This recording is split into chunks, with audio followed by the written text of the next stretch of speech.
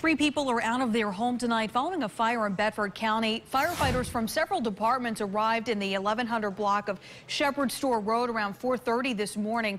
According to the fire marshal's office, the fire started in the attached garage from a heat lamp that was on for the owner's six cats.